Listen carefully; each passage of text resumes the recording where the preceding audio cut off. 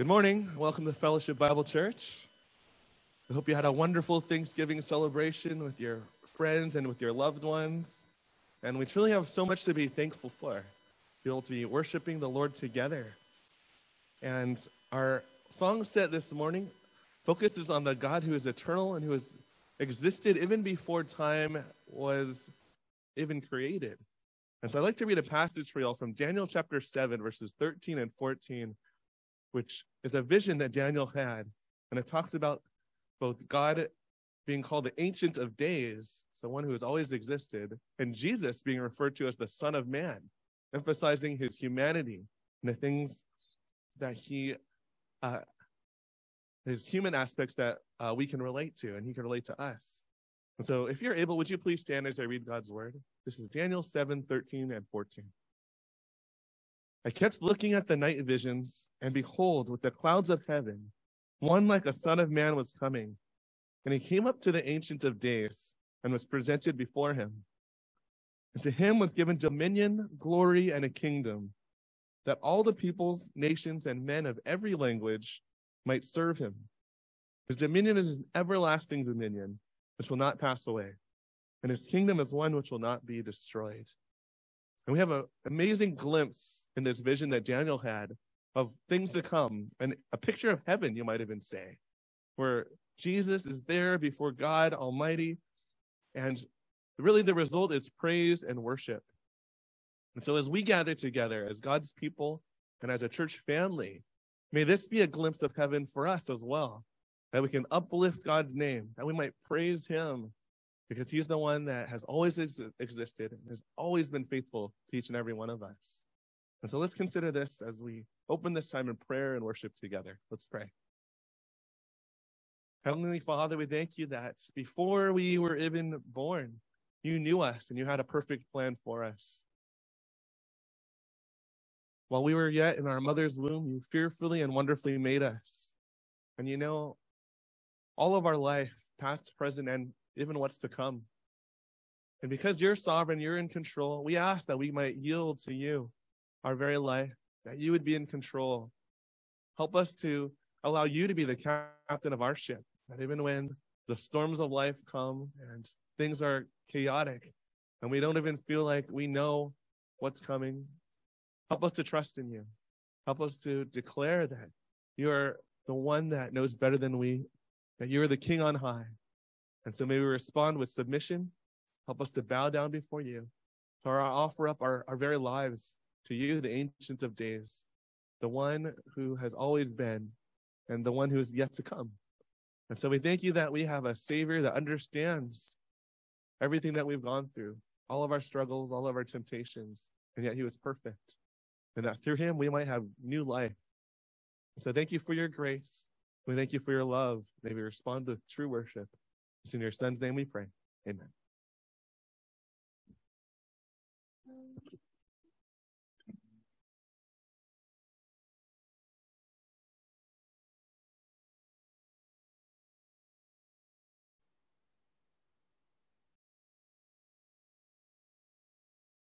So the nations rage. Though the nations rage Kingdoms rise and fall. There is still one King reigning over all. Though I will not fear, for this truth remains that my God is the ancient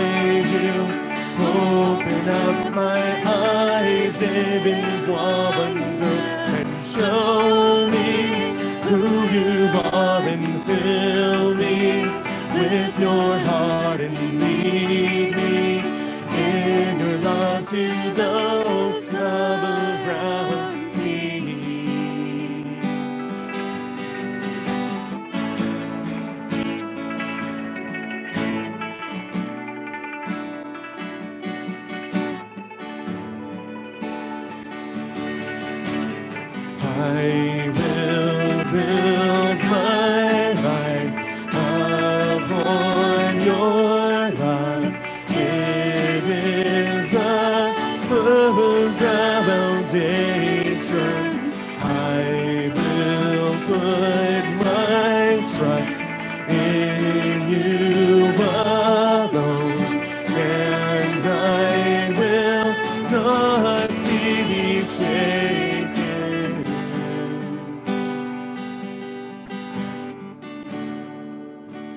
Worthy of every song we could ever sing. Worthy of all the praise we could ever bring.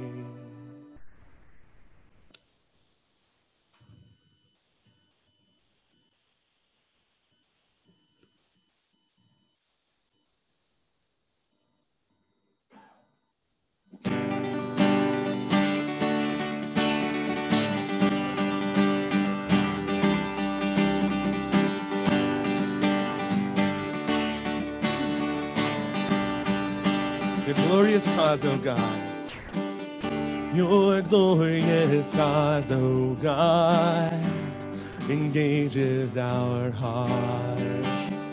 May Jesus Christ be known wherever we are.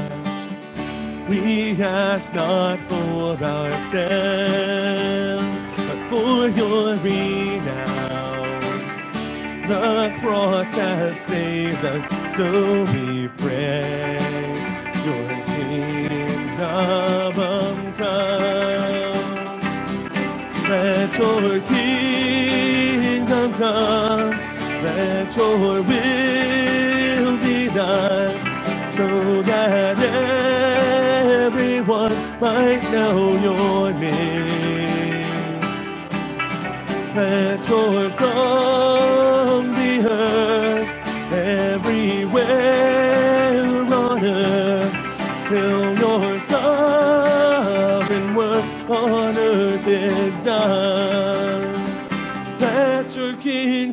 come.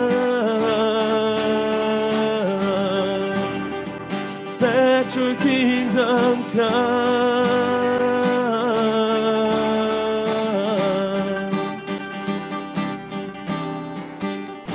Give us your strength, O God, and courage to speak.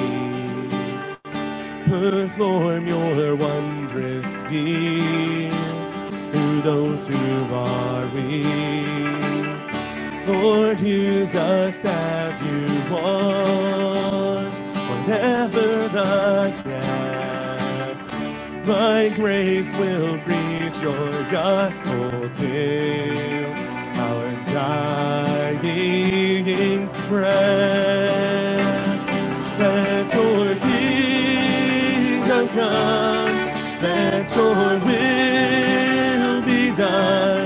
so that everyone might know your name. Let your song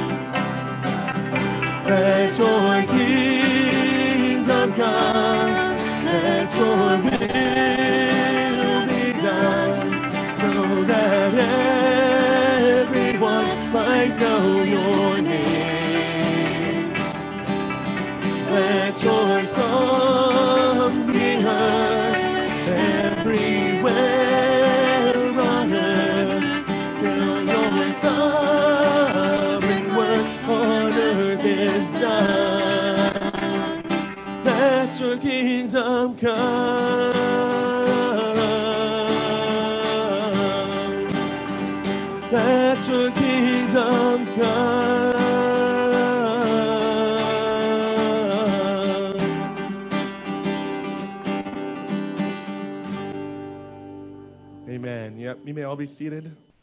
Pastor Steve. This morning, we're going to take a look from the 27th chapter of Acts.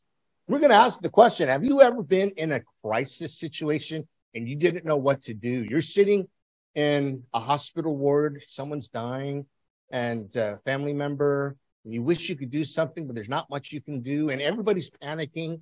There's something that you can do. Maybe you're in a, a work situation where there's been massive layoffs, there's economic downturn.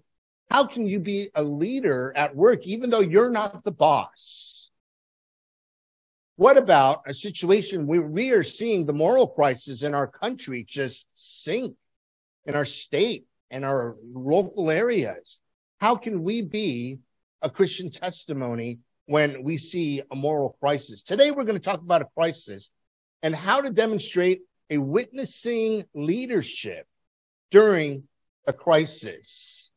Maybe you're going through a family crisis, a health crisis, a work crisis, even a ministry crisis. And there are things that we can do through leadership.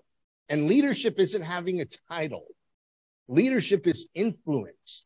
Leadership is being able to have a spiritual influence on the world, uh, on our company, at our school. There's been this situation a couple of years ago when we transitioned a new director that I'm a board member of uh, from uh, the former director.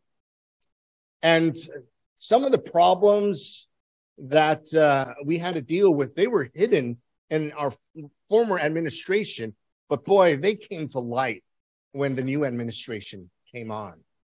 And for the first six months, I was getting tons of phone calls and uh, from the from the new director, and uh, and when things would happen, it goes to the administration, and then it goes to HR, and then it comes to me.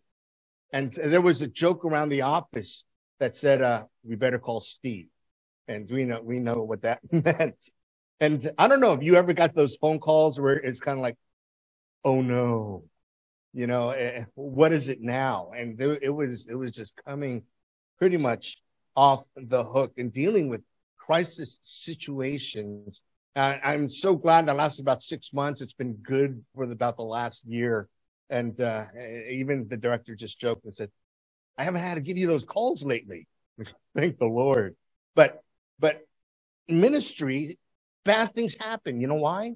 Because we're dealing with sin and people sin. We're dealing with tragedy. We're dealing with death.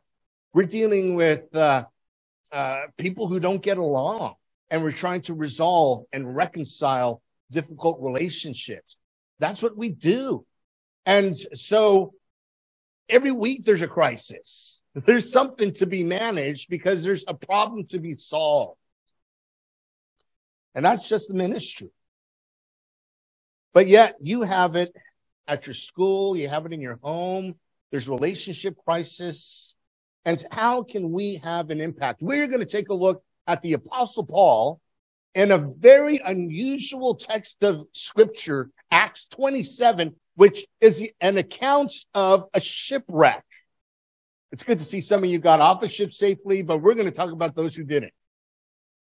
And how Paul used that situation to be an inspiring leader. So we see that the apostle Paul was committed to going to Rome. He, we see this two years ago. He was really desiring to go to Rome. And in Acts 23 11, Jesus talks to Paul and says, Take courage, for as you have testified to the facts about me in Jerusalem, so you must also testify also in Rome. So Paul used the whole idea. He could have been free, but he wanted to stay a prisoner to make his appeal to Caesar because he knew that he can use that platform to be a witness to Caesar and to be a witness in Rome. So as a prisoner, he was going to be shipped to Rome. And so, um, so we see here that he's starting right over here in Caesarea Maritima, just above Jerusalem. That's the starting point. He's going to go to Sidon. Then he's going to, not the Poseidon, but that was another adventure. Okay, anyway, that's an old movie, the Sidon Adventure. And then, uh, then he's going to go to Lycia and then to Crete, where, um, if you're with Crete, then that's concrete. And then he ends up in, uh, in Malta because he wanted a good chocolate Malta. And so, so, so those are just some of the locations that he's going to end up going.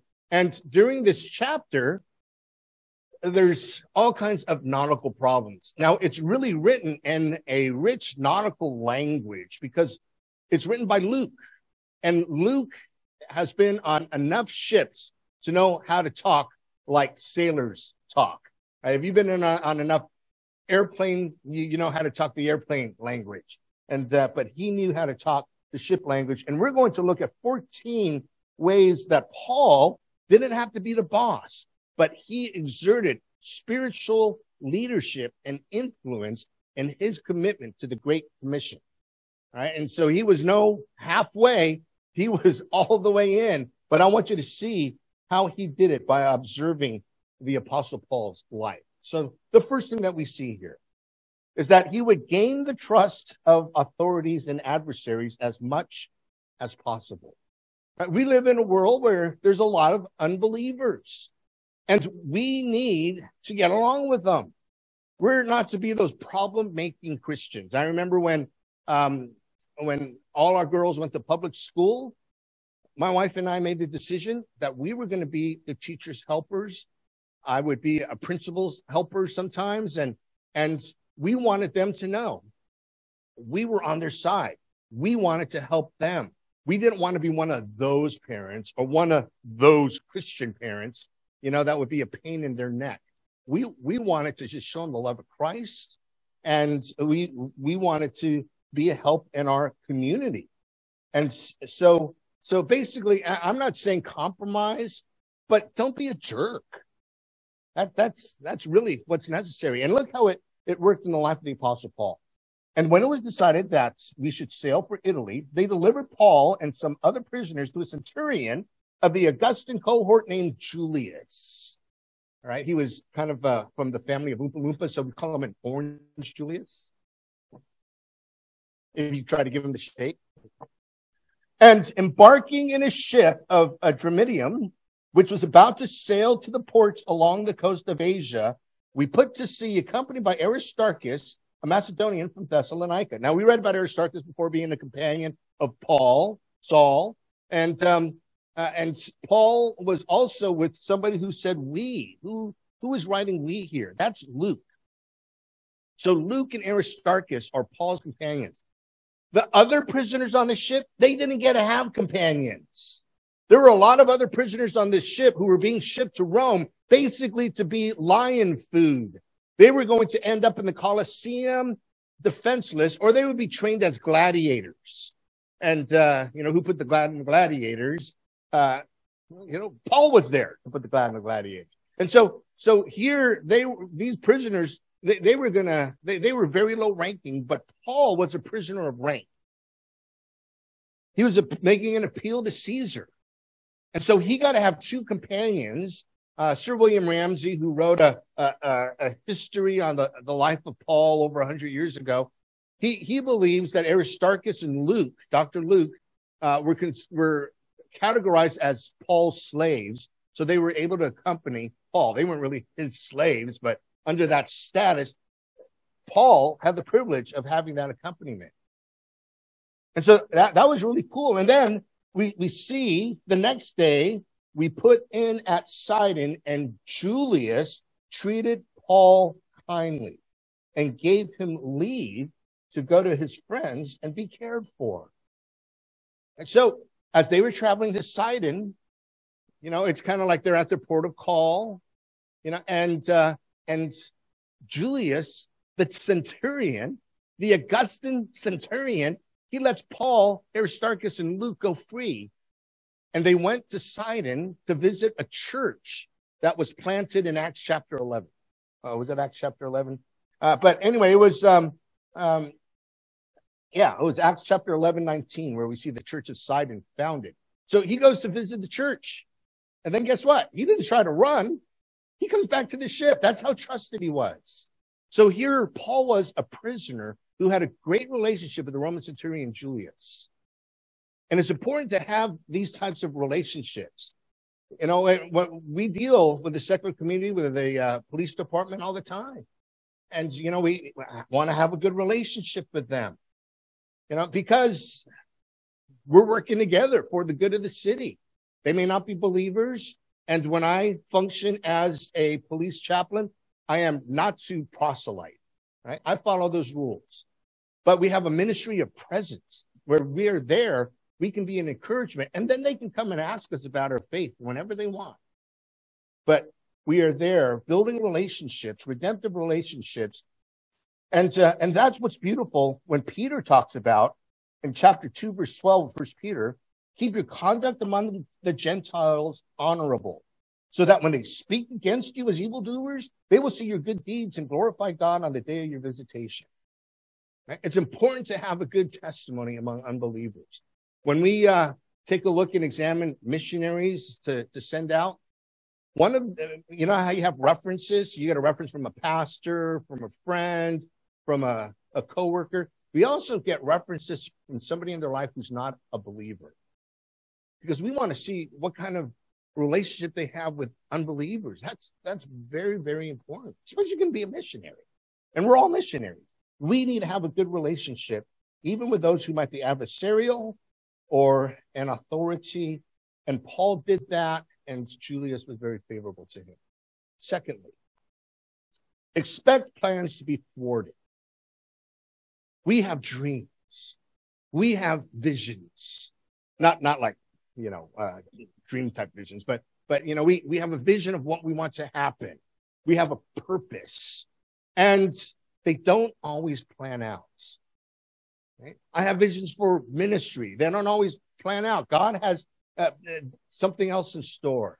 You might have an educational path that gets thwarted. You might have an occupational path that hits bumps in the road. And maybe you wanted to go this way and you ended up this way. I mean, I wanted to be a piano player for Earth, Wind, and Fire, and I ended up in the ministry. You know, I mean, I'm glad for it, but, you know, wonder what if I was a musician. And, and, uh, and, and so, so we, plans get thwarted. And putting out to sea, where we sailed under the lee of Cyprus. Now it's interesting, you're going to see the nautical term lee used here. Lee does not mean uh, uh, your Chinese name, or it doesn't mean left or right, east or west, you know, like starboard or port side or, or east or west. What it means is it's, um, if the strong wind is coming and it's hitting the island, like on the north side, the, the leeward side would be, uh, the, the, the south side of the island. It's kind of like, um, yesterday, I, I used the church oven to, uh, to, to bake a turkey and there's a huge wind that comes out of the oven. I mean, well, you know, a huge fan. And so I took the turkey, I took the inside part of the turkey, you know, with a hole in it, and then I put that towards the fan. So the top part where the wings were, that would be like the lee side or the leeward side of that wind. So, so it would be sailing when you're sailing on the leeward side, you're sailing on the protected side instead of that strong wind. It's been muted somewhat by, by the island of Crete and uh, and then you're you're somewhat protected or Cyprus. So here they were trapped, sailing under the lee of Cyprus because the winds were against us. And when we had sailed o- across the open sea along the coast of Cilicia and Pamphylia, we came to Myra in Lycia. There we found, there the centurion, Julius, found the ship of Alexandria. Now, where's Alexandria? Which country? Egypt, right? So, so Alexandria is in Egypt. That's important when I talk a little bit about uh, archaeology in, in a little bit. So, so note, they found a new ship of Alexandria sailing for Italy and put us on board. This is a grain ship. This is covering, uh, this is transporting grain to Italy. So Julius finds this ship. So it's not a, a prisoner ship. It's not a, a warship. It's a cargo ship. These ships typically were 140 feet long, 36 feet wide, and about 33 feet deep. And it would hold 276 passengers, plus the wheat grain. I mean, that's, that's pretty cramped in. This is for a two month journey on the crazy, wild Mediterranean Sea. And so here they were on this particular ship. And, uh, and so the centurion found the ship in Alexandria, sailing for Italy, put us on board. And we sailed for a number of days and arrived with difficulty off Cnidus, as the wind did not allow us to go farther. We sailed under the lee of Crete off Salmone, and so coasting along it was with difficulty, we came to a place called Fair Havens, near which was the city of Lasea. All right. So all of that to say is that they had plans and it didn't go as well. Right. It's this is like my travel last week and the, the poor college kids traveling today by plane. Right. Who knows what they're going to face? Like I was trying to fly over to Grand Rapids and I got stuck at San Francisco because the the fuel gates didn't work, so they had to put a dipstick in there. That delayed me an hour, so I missed my connection in Denver. And then when I was flying out of Grand Rapids, we had 12 inches of snow, and uh, I had one hour to to to run from my my gate in Phoenix to catch a plane home. It took an hour to de-ice the plane, and then it took a half hour to plow the runway. So I ended up missing my connection, and a wonderful pastor in Phoenix took me in, picked me up, and took me in his home and drove me to the airport the next day. But you know, plans get thwarted. And you you have this career path, you have this educational path, you have these hopes and dreams, and then someone gets this bad diagnosis, and you're wondering how you're going to handle these types of things, and or or you thought your company was going to be so successful, and now they're having massive layoffs. Our our plans get thwarted, and we just need to be prepared for that, right? In church, where we deal with sin and things that go wrong. You know, at, don't don't expect things at church to be just smooth sailing because it, it, it just doesn't. It isn't. Number three. Warn of potential dangers as much as others will listen. Okay? We can warn, we can warn lovingly, we can warn patiently, uh, but uh, but also know not everybody's going to listen. Not everybody's going to listen to the gospel, but we need to give the gospel. We need to warn that there's judgment for sin, that there's an eternity of hell, but yet there's the gracious salvation by our Lord Jesus Christ, who died on the cross for our sins, was buried, and rose again on the third day. We need to give that hope, but we also need to tell them what people are saved from, and people don't always want to hear it, particularly in this immoral, amoral climate. But we warn, as much as others will listen. So since much time passed, and the voyage was now dangerous, because even the fast was already over. Now, what is the fast? The fast is referring to Yom Kippur, the Day of Atonement. And so the Day of Atonement was a holy fasting day for the Jews. So it was known that after this particular fast, the time to sail in the Mediterranean was not good unless your ship was built for typhoon type storms. This is a grain ship, not built for those kind of storms. So that's why it talks about that fast already being over. They know that between September 14th and November 11th, during that two month period, the, the, the skies were overcast, so you couldn't navigate because they didn't have all those cool equipments. You know, when I was landing in Grand Rapids last week, it was like like fog on clouds all the way down and snow. And then uh, and I, I'm just looking out the window, and the next thing I see is the runway, and I just said, "Boy, that's what a great pilot and great instruments." You know, I mean, he could make that. How do you find this airport? You know, I mean, I, I could see nothing for for miles and miles and miles, and uh, you know, and he landed there. So, but back in the old days, they had to use the the the sky for navigation, and they couldn't do that in this particular climate. And then the waves were just super, super dangerous. So Paul advises them saying, Sir, I perceive that the voyage will be with injury and much loss, not only of the cargo and the ship, but also of our lives. So Paul gives a warning. But guess what? He's overruled because who's on the ship? The centurion, Julius, he paid more attention to the pilot, right? The captain of the ship. Now, could you blame him? Right? He's the captain of the ship. He sails the Mediterranean. He knows the water. But who else is on the ship? The owner. The owner of the ship from Alexandria. He was on the ship. And so, so, uh, so the centurion obviously would listen more to them than he would listen to the apostle Paul. So we warn as much as others will listen. He wasn't out there saying, Oh, you better listen to me and to start whining and complaining and griping. He warned and he left it at that. Number four. Remember that majority rule is not as good as divine guidance. Majority rule, right? And, uh, and so a, a, lot of times, uh, people will have this, you know, oh, somebody's dying. Oh, well, most people think that they shouldn't know that they're dying. And, uh, you know, well, a minority says, well, I think they should know. Right. And, uh, oh, no, you know, it, it, it's that old kind of cultural, uh, thing. You know, do we let them die in ignorance and bliss or, you know, do we let them know so they know how to deal with it and prepare? Right. And so, so there, there can be this debate on which one do we choose? Now, what we need to do is to assert divine guidance. What does the scripture say? Because that's more important than the majority. The majority is not always right. You see these elections, right? They're not, majority's not always right. And we just have to remember that. And that, sure, the majority might speak, but we have this underlying sense of confidence and steadfastness in the revelation of God.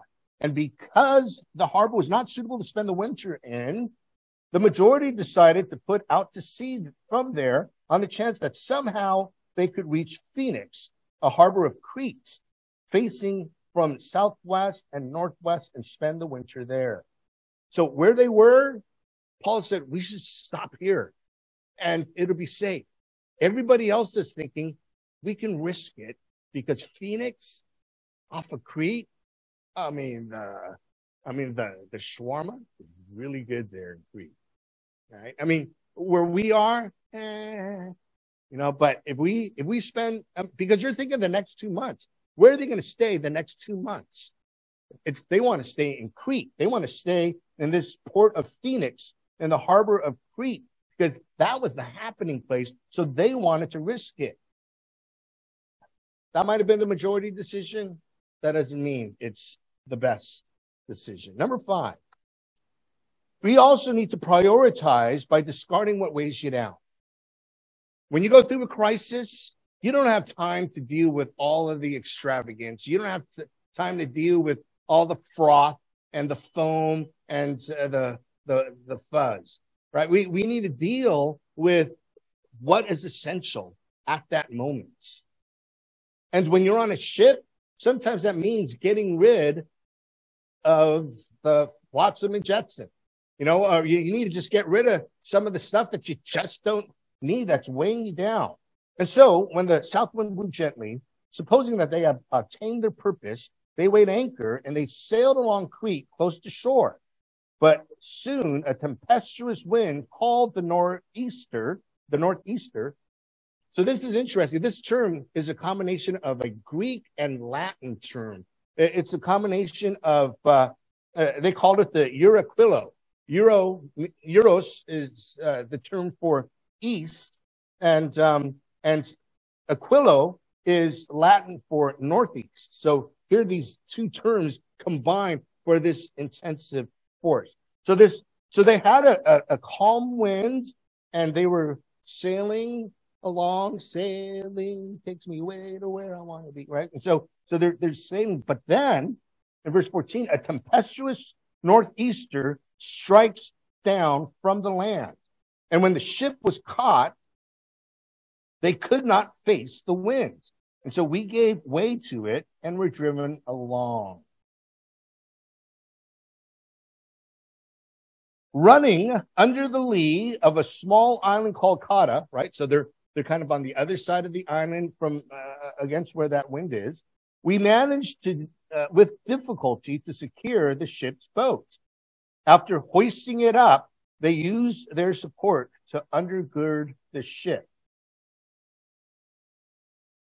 Then, fearing that they would run aground on the Syrtis, they lowered the gear, and thus they were driven along. Since we were violently storm tossed, the tiny ship was tossed, and if it was not for the courage of the fearless crew, the minnow would be lost. So they began the next day to jettison the cargo. So they got rid of all that extra stuff. We need to focus our ship on what's important, which is the people. Get rid of all the junk that's weighing it down. And they even threw over the ship's tackle overboard with their own hands.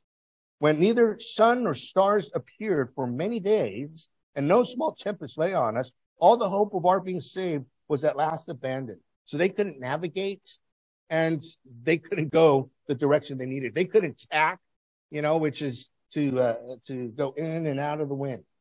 So Hebrews tells us to get rid of the weight and the sin that so easily ensnares us so that we can run the race with victory and with faith and with endurance. So it's not, you know, if you're going to go, you're going to go race a mile, you're not going to wear the heavy coat. You know, I mean, swimmers have those big, giant, heavy coats. You're not going to wear that into the water when you're racing. Right. And so, so you take all of the extra stuff off and just focus on what is essential instead of the things that weigh us down. Because in a time of crisis, what really matters, right? When somebody's dying, you don't care about the college game yesterday. You don't care about even the Warriors, right? I mean, as much as we love the Warriors, we care about the person's eternal security. We care about family and we care about friends. We, throw everything else aside because that's what matters at that time. Number six, you don't need to have a position to have a voice of leadership. You don't need to have a position. What you need to have is influence. That's leadership. What you need to have in leadership is an opportunity that you can serve. For example, when the police are on scene and they call me, I don't interfere and tell them what to do right? But they give me a lane that I can be a spiritual leader in uh, in, in, a tragedy or in a death scene or or in, in just some chaos that's going on in the city and they need help. My uh, my friend Paul Seger, who was the the last general director of Biblical Ministries Worldwide, he wrote a, a book called Leadership: Lessons from an African Village. And he grew up as a missionary kid, and his parents were uh, missionaries in Nigeria, and so uh, so ministering to the tribes there. So he he shares lessons from the tribes on this book called on called Leadership. It's a great book, and it's uh and one of his chapters is about the medicine man, because the tribe has a chief who has the title as the boss of the chief, but who really has the influence? It's the witch doctor, not the chief. Who do the people go to when their kid is sick? The witch doctor, right? When there's this big problem that's brewing, they go to the witch doctor because they want that solved. The witch doctor doesn't have a title, doesn't have an authoritative place in the government, but is the one who people go to, right? There's witch doctors at the church that don't have a title but have influence. All right, this is that's a good thing. Right? There are people who uh, at work may not have a title, but they're the influential people. There's people at your school, they're still students, but they're influential at school without a title. Right? So that's kind of that witch doctor principle. And this is what the apostle Paul was doing and having a voice without having a position. I mean, the prisoner. Since they should be without food for a long time, Paul stood up among them and said, Men, you should have listened to me and not have set sail from Crete and incurred this injury and loss. So what we need to do in that situation, we need to look around and see what needs to be done. I'll give you an example. Um, uh, when we do a wedding and we have the rehearsal the day before or sometimes two days before, but we have the rehearsal, I, I will go in there and and I, I, don't want to be bossy. So I, I go there and then I'd say, well, let's see, who wants to lead the uh, the rehearsal? Uh, if it's the venue uh, coordinator, you know, I'll, I'll see, do they want to do that or do they want me to do that? And I'll just supplement where it needs. I remember there was this one venue that people were getting married at for a while. And then uh, there was this one wedding coordinator who's really difficult to deal with. And, um, you know, some of you might remember because you got married there. And, and, uh, and so she was really tough on brides and grooms, but she really liked pastors. So, so, you know, so I, I would have to say, okay, I know what I have to do. So when there was something that she wasn't listening to the bride and groom in, then I would have to step in on behalf of the bride and groom and say, this needs to be done. And so here, you know, you're just kind of seeing, okay, who's going to lead and then where can we fit in? So you're in this crisis situation at work. You may not have a position, but you're saying what needs to be done? Who needs encouragement? Who needs some help? Who needs some support here? Who needs a reference? Who needs a connection? Uh, or you're, you're, you're sitting around in the hospital and it, you know, there's nothing that medically can be done. But you can look around and just say, oh, well, so and so needs encouragement. So and so needs encouragement. Oh, so and so needs food. How can I go run and get somebody some help there? Right. So you don't have to have the title. You don't have to be the doctor. You don't have to be the administrator. You can be somebody there and show leadership by taking the initiative to make some needs, meet some needs. And that's what Paul did. You don't have to have a position to have a voice of leadership. Number seven, be a voice of encouragement and hope. Twice Paul is saying, take heart. Yet now I urge you, take heart, for there will be no loss of life among you, but only the ship. Now it's amazing because God told him that. Nobody's going to lose a life. So take heart. There are 275 people who need encouraging on that ship. And Paul is encouraging them. He says twice, take heart. Sometimes people just need a, a, a word of encouragement a word of strength. We can do that. How you doing? How can I pray for you? How can I help you at this difficult time? You know, I'm, I'm here to listen. Just go ahead, pour it out. Uh, I'll sit here as long as it takes. And, and so sometimes we, and, and then we can say, you know, this verse encouraged me, where we can be strong, where we can trust in the Lord with all our heart. And so uh, we can give a little bit of encouragement there. And then number eight, give assurances from God's word. Give assurances from God's word. I mean, why was Paul able to say there's going to be no loss of life? For that very, for this very night, there stood before me an angel of the God to whom I belong and to whom I worship. So this God to whom I'm his son and whom I worship, he sent a messenger angel to me and he said, Do not be afraid, Paul. You must stand before Caesar. And behold, God has granted you all those who sail with you. So take heart, men. I have faith in God that it will be as exactly as I have been told. Now, we may not have angels talking to us and saying, Nobody's going to die. But Paul did. What we have is the word of God. And what we can give is the assurance of the word of God. Number nine, don't hide the harsh reality. Don't hide the harsh reality. You know, don't say, oh, they're, they're not going to die. We can't promise that. Oh, you know, you're going to, you know, you'll be able to keep your job. This company will survive. You know, your investments will pay off. You can't promise that. Oh, your dreams will come true. All you have to do is believe. Only Disney could promise that, but we can't. And, uh, and, and, and that only works for princesses too. Paul said, we must run aground on some islands. We're going to crash. Right? We're going to live, but we're going to crash. And so you need to be prepared for that. Right. And that's why we give you those warnings before you fly. You know, we you, you listen to the you know the oxygen tank's going to drop on to you before your kid, and uh, the life vest is underneath. Know where your exits are. You know, and and so we we get all these things. I I, I I'm also a, a San Francisco Airport chap.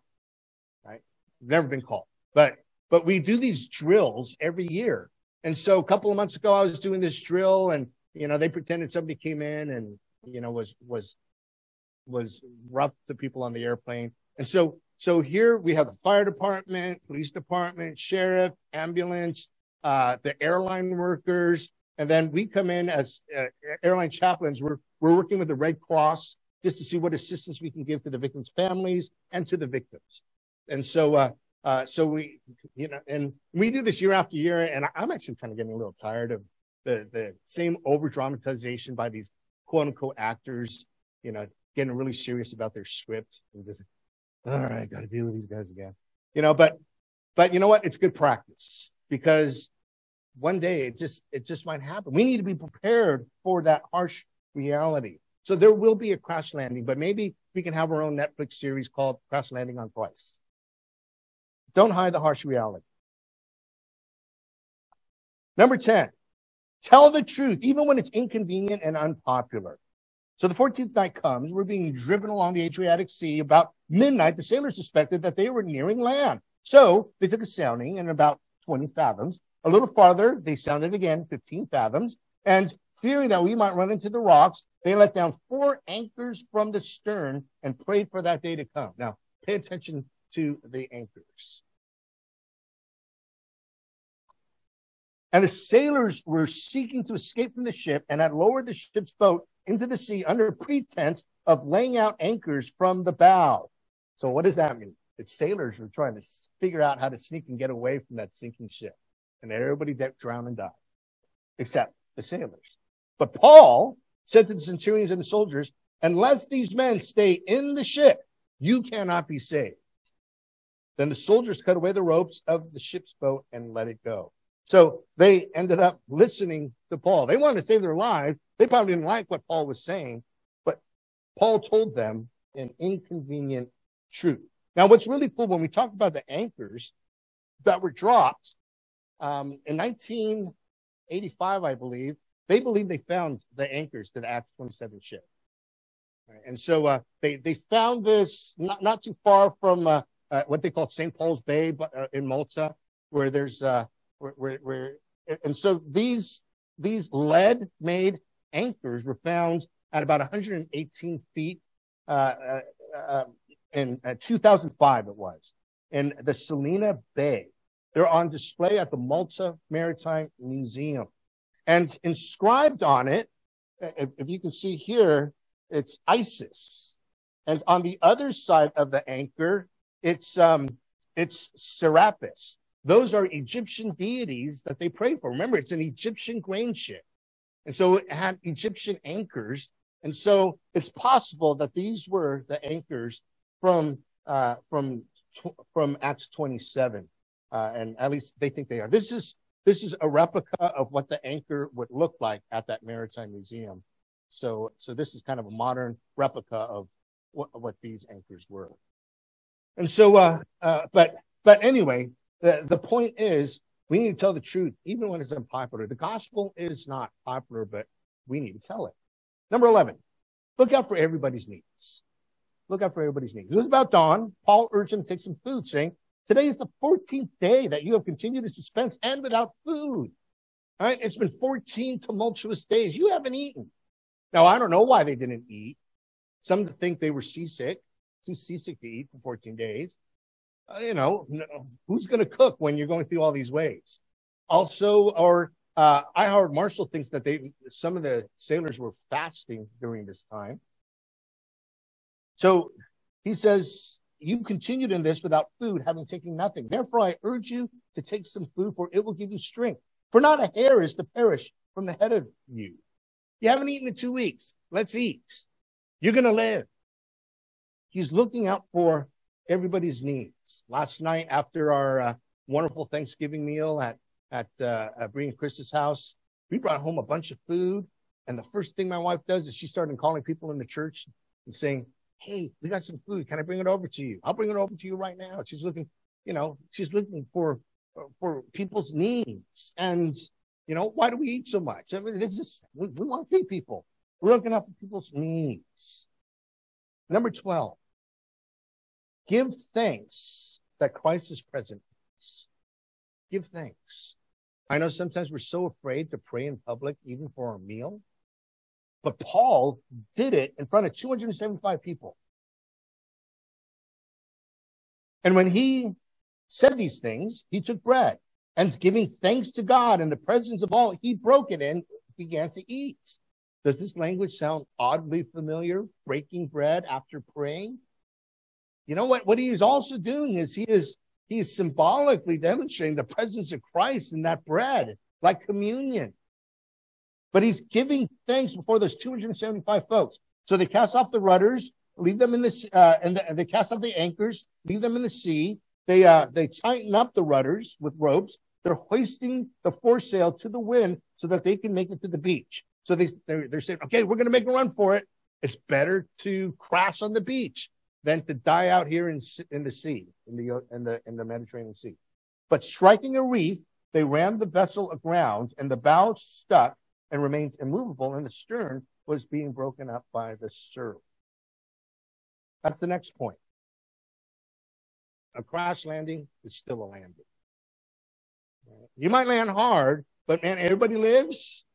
We'll take that. We'll take that. But a crash landing is still a, a landing. And then the last point here. Saving everyone is better than eliminating threats. Right? God's in the God's in the game of saving people. But the soldiers' plan was to kill the prisoners, lest they swim away and escape. And you can understand from a Roman soldier perspective, if they lost a prisoner, they could be executed. So they're they were going to die if they lost prisoners. So they were going to kill the prisoners rather than let them escape, lest they swim away and escape. But the centurion, Julius, wishing to save Paul, kept them from carrying out their plan. He ordered those who could swim to jump overboard first, make them land, and then the rest on planks on his pieces of the ship.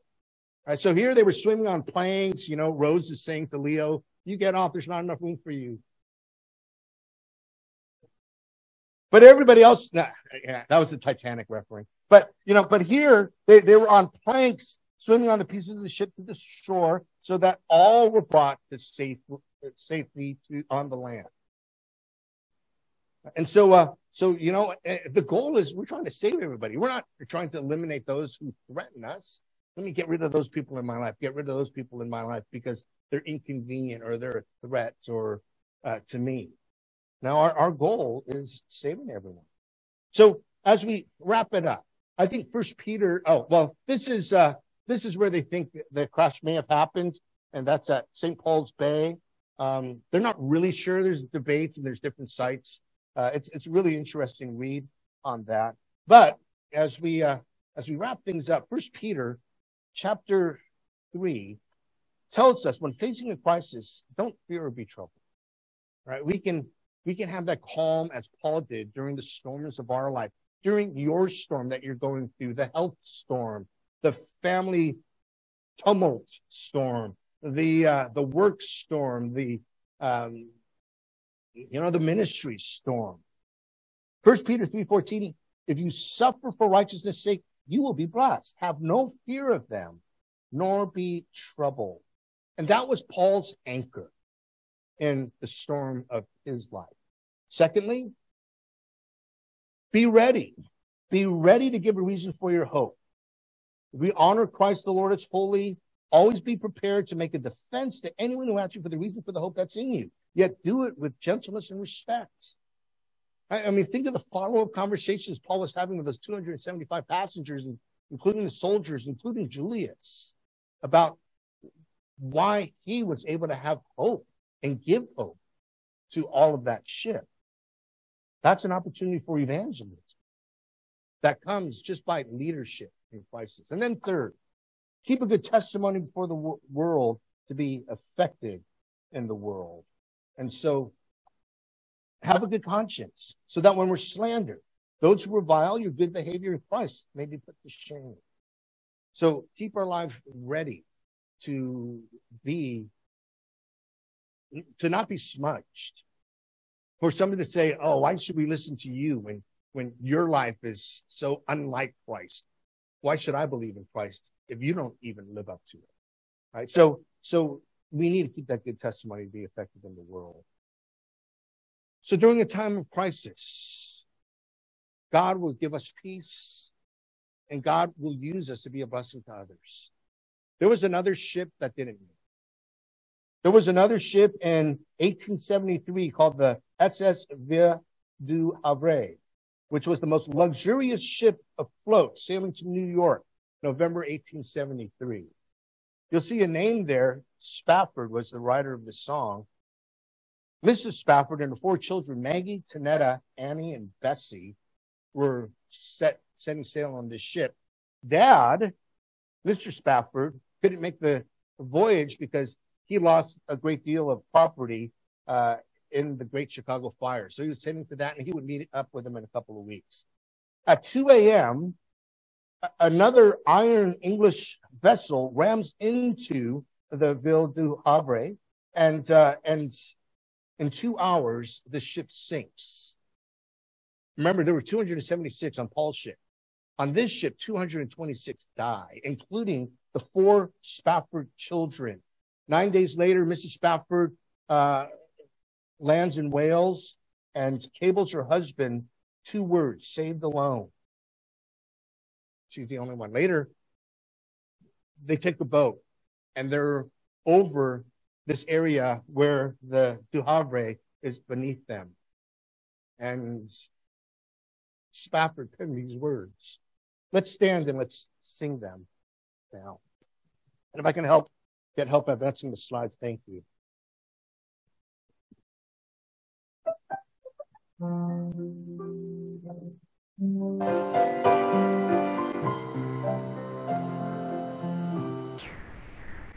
When peace like a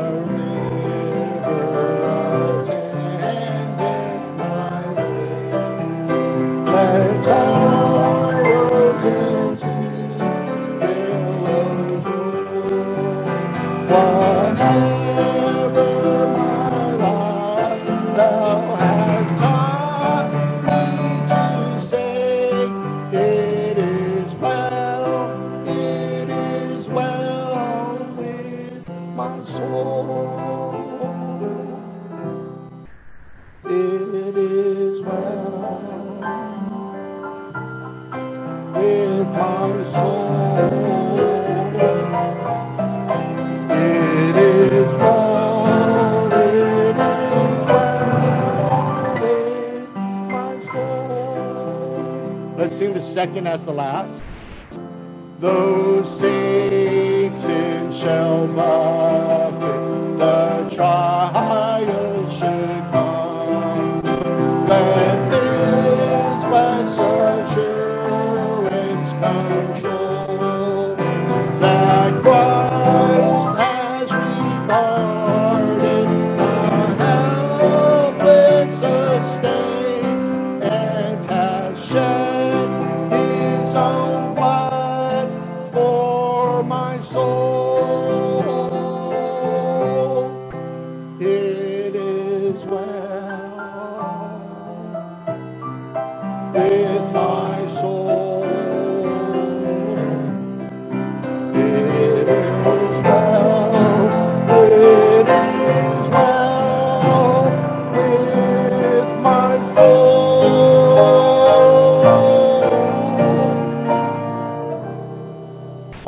Heavenly Father, thank you that we can have peace amidst the storms as Paul did because Christ is the anchor of our soul, because Christ is our Savior of sin and death, because He died on the cross for our sins, was buried, rose again on the third day.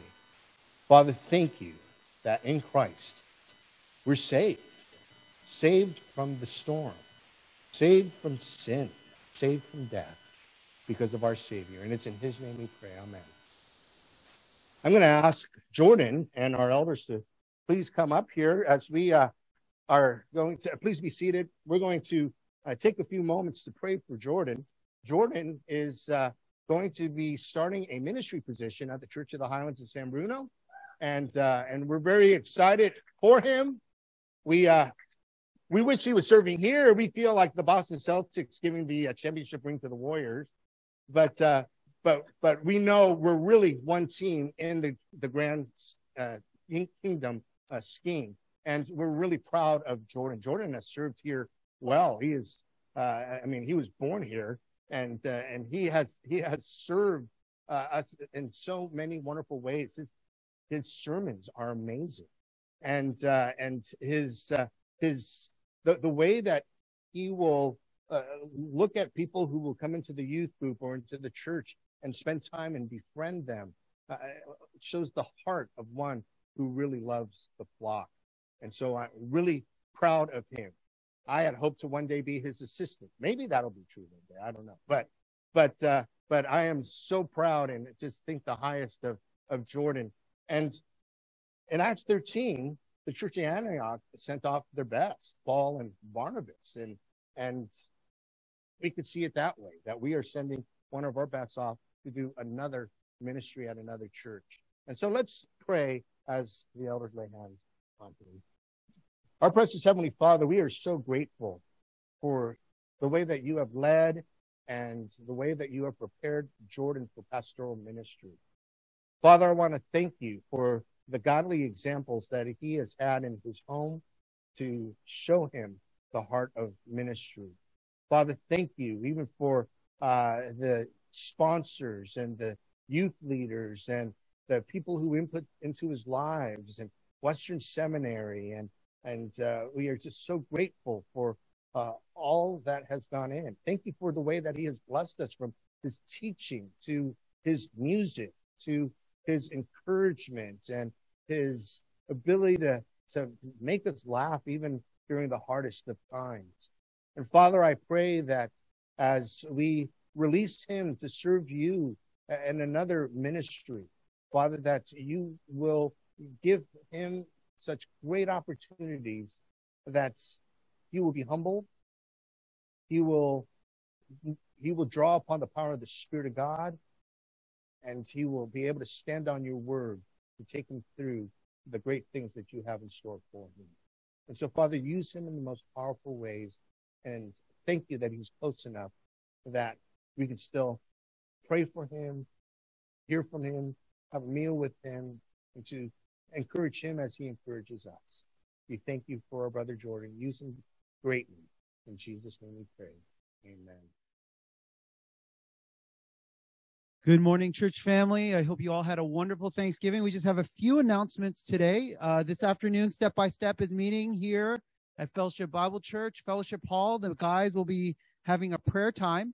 Tomorrow, 10 a.m., Young at Heart will be meeting. Uh, Pastor Steve will be leading the Young at Heart, and it's both here as well as on Zoom. Uh, we have a new ministry starting in two weeks, December 8th. Alan and Margaret are heading up a caregiver support group.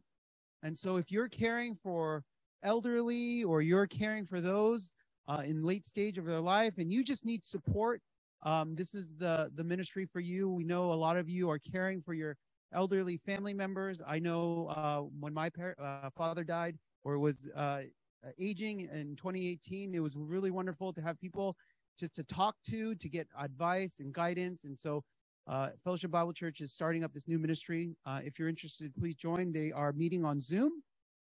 Um, in uh, December's rolling around, Christmas is coming. Our Christmas program is going to be December 18th. Uh, if you haven't done so yet, please sign up. We just need to get a count for our Christmas breakfast.